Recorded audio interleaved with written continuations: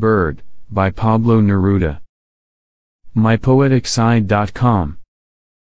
It was passed from one bird to another. The whole gift of the day. The day went from flute to flute. Went dressed in vegetation. In flights which opened the tunnel. Through the wind would pass. To where birds were breaking open. The dense blue air. And there, night came in.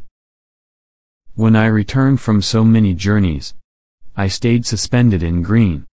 Between sun and geography. I saw how wings worked. How perfumes are transmitted.